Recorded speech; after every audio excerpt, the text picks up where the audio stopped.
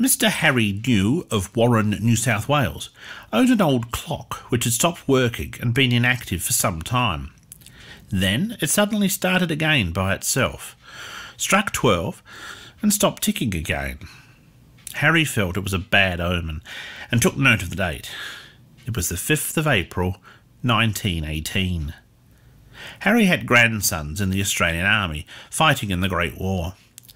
One of these was Albert Matthew Clark, known as Matthew. He had been born in 1898 and enlisted on the 10th of April 1917, while still a teenager. He was on the Western Front with the 35th Australian Infantry Battalion.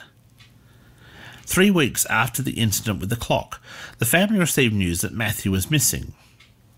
Months passed and no further news arrived. In September, the family wrote to military authorities seeking answers.